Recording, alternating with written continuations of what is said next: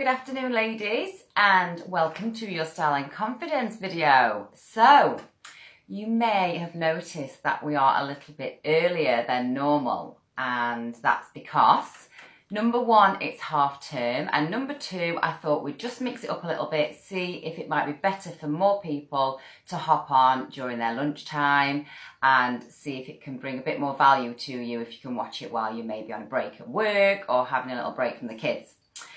So, it's half term. Um, for any of you that are watching um, who are off for half term, please drop me a comment below and tell me what you're up to. We've got lots of stuff planned this week with the boys. Um, Austin is at Holiday Club today. So this is what we like to call a danger live. And that means that my littlest boy is in there with plenty of snacks and his iPad. Um, so he's been warned not to come in, but you never know, he might just make an appearance. So yeah, it's half term some people are lucky enough to take the time off work and some people may be at work. But if you're off work, sometimes you're at home with the kids and it can be an idea to get those little house jobs done. And a wardrobe edit is something which you can do while the kids are around, which will make you feel a million times better. So today's video, we're going to be covering what happens at a wardrobe edit. So for those of you that don't know me, I'll just do a little introduction to me and what I do, and then we'll get cracking on the wardrobe edit part. So I'm Joy Gregory, I am a style and confidence coach. I work only with women and I work with women to feel good about themselves. And the way I do this is using clothing, clothing which flatters their unique body type and their skin tone and also their style personality. So I don't believe that you have to be a certain size or weight to look good in your clothes. I think it's all about the style of clothes flattering you, the fact that they feel authentically you, so they suit your personality and that they work colour wise. So I don't believe in any fad diets or any quick fixes. I purely believe that you have to work on your inner self-worth and wearing the right things to feel good about yourself. So that's me in a nutshell. And one of the services which I provide is a wardrobe edit.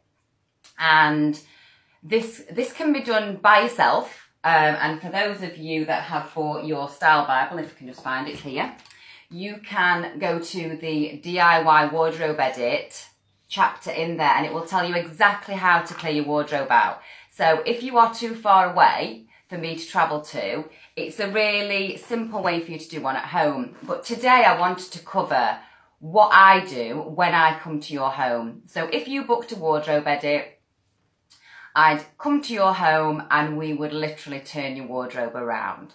So firstly, wardrobe edits can be called a number of different things. So you might have heard of a declutter. Some other stylists call them a declutter and really a declutter is completely different to a wardrobe edit. A declutter usually is sorting, rearranging, tidying the hangers, putting your shoes in a row. It's not as in-depth as I go with a wardrobe edit. So you'll see as we go along how much work goes into a wardrobe edit. If there's anybody watching who has had a wardrobe edit, I'd love you to put your comments below and just sort of give your interpretation of what you experienced. So why is a wardrobe edit useful? Because you might think, well, actually, I'm getting on all right, just putting stuff over the banister or stuffing it in or rolling it up and shoving it in drawers. Now, a wardrobe edit's useful because number one, it's going to save you time. So go into your wardrobe in the morning and already having outfits lined up in a correct order with the things that they go with, with the shoes available and the accessories will save you time. And by saving you time, it's going to save you stress because for me in the morning, it's literally military getting the kids ready in their uniform, getting their bags packed and getting out of the door ready for the school run. So if you can go to your wardrobe and you've already got stuff hanging there, it's going to save you time and stress. But it's also going to save you money. And you might think, well, how is it going to save me money? Because I actually have to pay for a wardrobe edit. However, saving you money comes because you know what you've got And when you go out shopping, you know the little bits that you can buy to go with these things that are already in your wardrobe. And you're not going to be buying things and just replacing stuff that you forgot about in your wardrobe. The number of times that I go to people's houses and we're going through the items and they're like, oh my God, I forgot I got that. Or they might have 15 white shirts because they've just kept buying the same thing that they didn't need. So a wardrobe edit really saves you money in the long run. So how long is a wardrobe edit? You know, like, is it a quick fix? Is it, am I in and out in an hour? No. If you've had one before, you can probably have a refresher, a transitional wardrobe edit that might take around, hi Jodie, I can see you're looking, I've done your wardrobe, haven't I? Um, yeah, it would usually take about three hours for a transitional one, going from winter to spring. Um, but if you haven't had one before, most of the time you'd need a six hour wardrobe edit. And that is because of the detail that goes into what we're about to discuss. So if you've just got a very tiny, small single wardrobe and a few drawers, we might be able to do it in three hours. However, it takes time. It's not just going through the clothing it is explaining each item to you and why it will work, what it'll go with, what colours it'd work with, what accessories it'd look good with. So it's not a quick experience. It's a learning process and it's knowledge sharing and I will leave your home on that day and you'll know exactly what to wear with what. So what happens? You book your wardrobe edit, you click add to cart and you buy it and I will get in touch with you to arrange a date. And once that's done, you will receive um, a body shape analysis where you'll find out what your body shape is. You'll receive a personal colour analysis, so you'll know what your colour palette is and you can see behind me, everybody does have their own unique colours that work for them. And you'll receive my personal styling questionnaire and that's for me to get an idea of the sort of styles that you like in advance of me turning up. So once you've done that, I will have an idea of the sort of things that will flatter you, the sort of outfits that will work well for your body shape and your proportions. And when it comes to the day, I turn up with my little bag of tricks and we start off by having a cup of tea or coffee or whatever you want. Nice and relaxing and we'll have a chat. Now, in advance of me turning up, I will have asked you to make sure that all your clothes, your accessories, your shoes and your coats are in one room so that we're not spending all day running across a landing, fishing something out of the spare bedroom or going into backpacks. And we'll have a chat about your lifestyle. So what does your lifestyle look like? Do you work part time? Do you look after the kids part time? Do you work from home? Do you go to the gym a lot? How often do you go out and about socializing? And that will be then down to me to look at your wardrobe and see whether it reflects the amount of time that you spend on these activities. Because if half your wardrobe's taken up with your old prom dress or your wedding dress or your going out clothes and you do not go out anymore, it's wasting space for you that you could have your day-to-day outfits hanging up. So we talk about your lifestyle. We talk about how you feel about your body and how you feel about your style what problem areas you think you've got. So if you don't like showing your arms, I need to know that because I'm going to be putting outfits together and we need to be aware of the areas that you don't like showing. And that's absolutely fine. Um, I don't come to your house and say, right, you've got to have full body positivity from now on. You've got to be self-confident. You've got to start wearing all this stuff. I don't do that. That's not how I work. I take into consideration all of the things that you're self-conscious of from that day. So if you like to show your boobs, we'll wear things that have got a lower cut to them. If you like to show your legs, we'll make sure that you're wearing the skirts that you've got. But I will also make sure that you know what you'll look your best in. So we talk about the aims of the day. So what are we aiming for? Are we aiming for 15 to 20 work outfits? Are we aiming to put some stuff together to go and meet the girls for coffee? Are we aiming for going out outfits? Recently, um, at the wardrobe edit the other week, a lady was going on a conference and she wanted outfits that she could wear for the daytime, but then she could transfer to going out for a meal with her colleagues at night.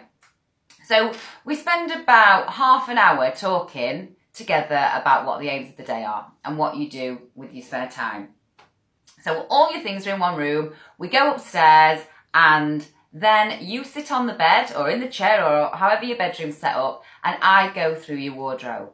Now, anything that you needed to remove in advance, I would like to think you've already done. But then what I do is I go through every single item one by one. I get it out.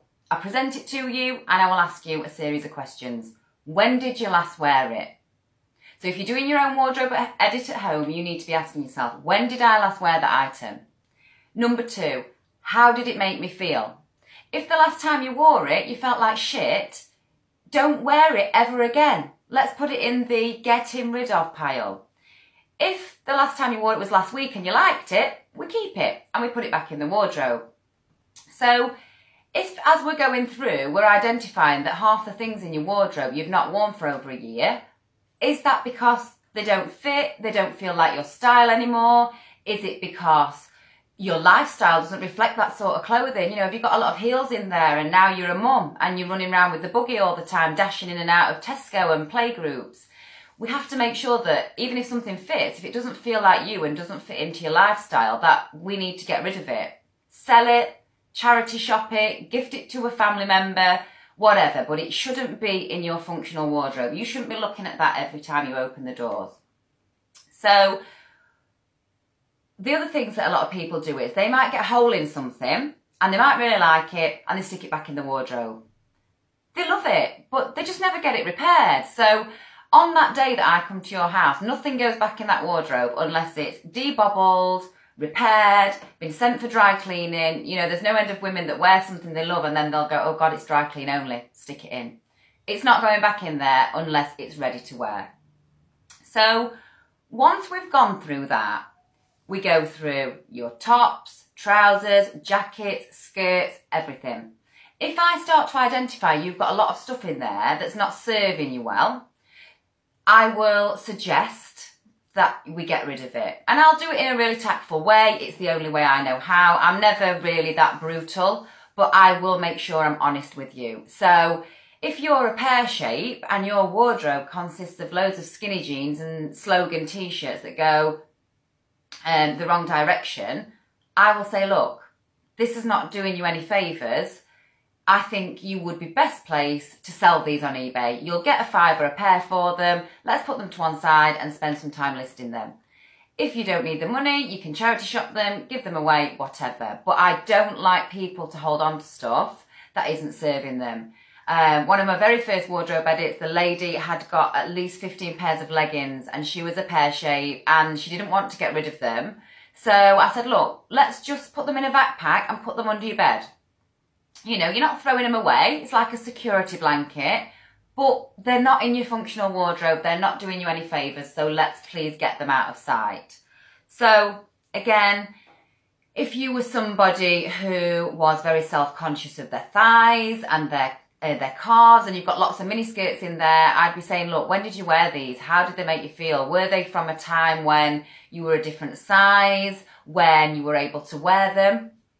A lot of women who um, might be stay-at-home mums or work part-time have changed jobs and they've got loads and loads of corporate wear in their wardrobe. They've still got blazers and shirts and they really don't need to be in there. If you're saving them for going back into that world, backpack them and put them away. So then we get to the exciting bit. We break for lunch and we'll have a little bit of a, you know, discussion of how it's going and how that person feels it's going. And then we go back upstairs and I start to put outfits together. So I don't just leave you with a wardrobe full of stuff that fits and that you like wearing. I then start with the trousers. And I'll take a pair of trousers or jeans and I will go through each top. So say for example it's a pair of jeans and I can see that you've got a white t-shirt, you've got a slogan t-shirt, you've got a shirt, you've got some nice soft jumpers. I will then photograph that top with those jeans. I'll then look through the footwear that you've got and depending on what you'd be wearing the outfits for, I'd put the shoes with it. So I might put your court shoes with it if you were wearing them to go for drinks with the girls, or I might put your trainers with it if you were going on the school run in it. Um, I'd then look at the jackets that you've got to go over the t-shirts. I'd look at the coats that you've got. I then look at the accessories that you've got and then I put them all together and take photographs. And for anybody that's been following me a while, you'll see that I literally take these flat lays at 100 miles an hour and you'll end up with lots and lots of outfits, way more than you thought you had. Because the thing that I pride myself on is teaching people how to put colours together because a lot of people fall into the trap of black jeans and a coloured top or coloured trousers and a black top. They just mix everything with black. And for me, I start to look at what you've got. So you might have got reds and khakis, you might have got nudes and reds. And, you know, I, I'm not forcing you to wear any of these colour combinations, but it's eye opening for people who've got these things that have never thought of how to put them together. So as we're going along, it will be apparent to me what's missing. So as we're going along, I might think, do you know what? You would have so many more outfits if you just had a long line navy coat or some flares or some comfy trainers. Um, or do you know what? That white t-shirt that you've got goes with so much, but it's a little bit faded. It's been through the wash too many times. Why don't we replace that? And as we're going along, I will start to create a list. And that list is for you or for us when we go personal shopping to buy things to then add to your wardrobe. And again, it all depends on your budget, it depends on the priority. You know, you might be like, do you know what, I really need to get that navy coat first, but the jeans can wait. For some people, it's just a case of accessories and they'll say, do you know what, I just really want to go and spend 20 quid in Primark on lots of different things and make sure that I can add some excitement to my outfits. And do you know what? That is one of the most basic things that you can do and I do it every week. You know, these earrings, these were £1.50 from Primark and they just add a little bit of something to those outfits. So it might be that you need a belt. It might be that you need some trainer socks so that you can wear your trainers without your socks poking out. Whatever it is, we make a list. And I go through photographing them. And then at the end of the day, I will WhatsApp you all the photographs and you can then either print them, stick them on the inside of the wardrobe door, or you can just use them in the morning and flick through. So it's a full on day and it, you know, it's very, very exhausting. I will be up and down taking pictures all day and putting things in and folding things up and making piles. It really is a valuable service because once you've had that done, you will be able to go to your wardrobe and see exactly what to wear. There'll be nothing in there that you take out, put on and think, oh no, that's not for me. While I'm at your house, it's entirely down to you whether or not you try these outfits on. I wouldn't want anyone to book thinking they've got to get naked. But what tends to happen is within 10 minutes, my clients will be just taking their top off and trying things on and showing me how they fit and asking me what they think. So you don't have to, but it's really useful while I'm there to get my opinion on things. So that's it in a nutshell, really. That is what a wardrobe edit is. It's not just me coming and titivating things and moving a few hangers around, putting it in colour order. You can have the order however you want. It can be hung in outfits, it can be hung tops, t-shirts, trousers, skirts, dresses, as you like. Um, and it really is personalised to every person. And I want to share some exciting news with you. No, I'm not having a baby, thankfully. I am running a webinar. So for anybody that hasn't had their body shape analysis done or is totally new to this and doesn't know where to start, I'm running a webinar on the 25th of February and it's a Style and Confidence Masterclass at 8pm. And what you need to do is you need to register. I'll pop the link in the comments. Register for it. You can watch it in the comfort of your own home with a brew. And for those of you that haven't done a webinar before, you're not on camera, you are watching me and I'll be sharing lots and lots of information. And I'm calling it the six secrets to style and confidence because it's the six things you need to know to kickstart your confidence journey. And I'll be sharing lots about body shapes, lots about colour palettes. I'll be giving you tips on things to wear that fit in with your lifestyle, with your wardrobe. I'm going to be sharing some shopping tips. And really, I want you to come along to the webinar with an open mind, um, an open mind that you can become more confident and more stylish and that you're not a lost cause because that's what so many of the women that I work with think they are and they're really not. So come along and join me. I'll pop the link below. I would love it if you share it with your friends. If you've got any women who you know who are down on themselves, who don't feel confident enough to try new things, I would love for you to share it. And please, please, please, hashtag replay if you've watched this on the replay. Share it to your timeline. Let's try and reach as many women as possible because all's not lost, guys. I know it's hard running a family, going to work, keeping on top of everything as well as looking good, but it really, really can be much easier than it is now. And for anybody that's interested, this is one of my new purchases from Tesco, my favourite, and it was £12 in the sale. So again, for £13.50, I've created a whole new outfit and I've just got it on with some black trousers today. So thanks for watching. If you've got any questions at all, please pop them in the comments and I'll answer at any time after this video. If you're interested in booking a wardrobe edit, please get in touch because March is really, really, really busy. Um, it's a really good time to have a wardrobe edit and I haven't got many dates available. So if you'd like to book, let me know and I'll try and squeeze you in. Um, but April's looking pretty good at the moment. So yes, thank you for watching and I'll speak to you soon. Bye.